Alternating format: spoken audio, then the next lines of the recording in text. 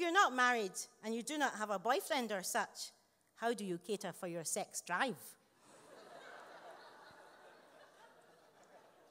the question flies straight out of the blue African sky and flaps around me like a rare bird.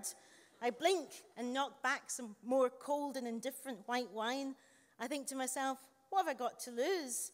I imagine that you'd think of my lesbianism as deviant, disturbed even, perhaps the sly work of Satan. But by this hour in the long day, I have a devil may care attitude and couldn't care less if he gets up from the table or if he gets down on his knees and asks me to repent. What the hell? I think to myself, slightly inebriated. Bring it on! Still, I hesitate a little longer, vacillating between bravery and cowardice.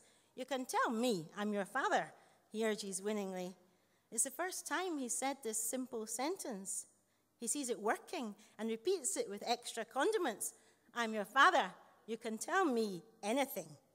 I love you and I accept you because I'm your father. There can be nothing that would shock me. it's the first time, too, that he's appeared really interested in anything about me. Just my luck, not in my son, not in my childhood, not in my university days, not in my books, not in my parents, but in my sex drive. Fucking brilliant. Well, you know the woman you spoke to on the telephone? Yes, yes, yes. Well, she's my partner. What do you mean? She's my partner. How so?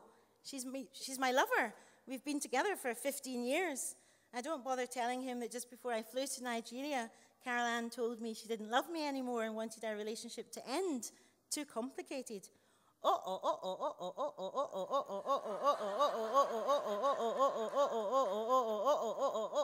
You mean you are lesbian?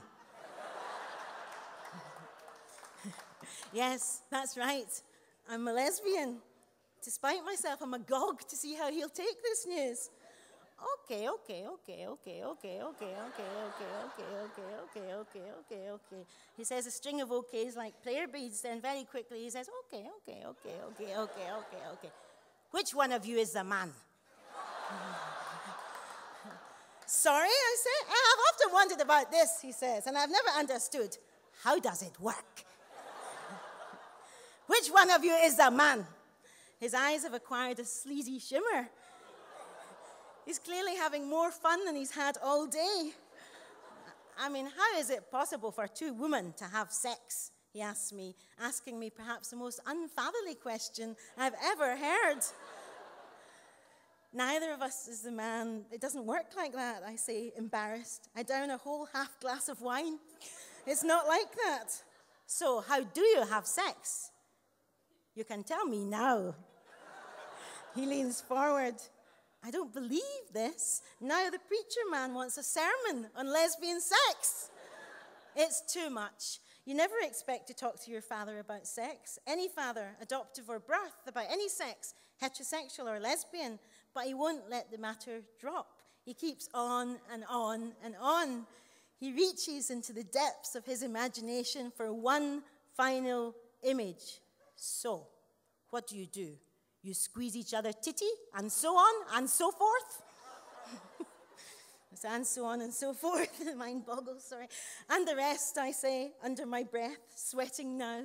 I look at the turquoise blue of the pool with some longing. I would love to run along the diving board and take a beautiful, breathtaking dive into the pool, not a belly flop, not a lesbian belly flop. Why is that funny? I don't know. a beautiful fish arc of a dive. Jonathan seems to sense that he's not going to get more salacious details out of me. Strangely enough, though, he's not been at all judgmental in the way I feared. So that's something. Quite the opposite. He says to me, When you get home, get out the Bible and say a prayer for each other in front of God, and God will recognize your relationship. I don't mind the woman. God doesn't mind the woman. It's a man he minds. Jonathan says, screwing his forehead in disgust, it's a men who want to wear frock that I mind. I thought at first he was referring to transvestites. Then I realized that he meant gay bishops. There's been a split in the church over the thorny issue of gay clergy, led by the fundamentalist Christians in Nigeria. The Bible says it's wrong, so how can they take up the frock? Jonathan says, his face crinkling with revulsion, but the Bible says nothing about women. His face smooths out, smooths out again. Anyway, it is better for you that you don't go with men. God intends you for higher purposes. Stay away from men. Stay away from men.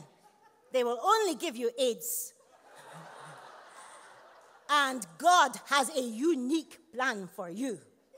Heavens, I think. Now God is even involved in my sexuality. What a turn up for the book.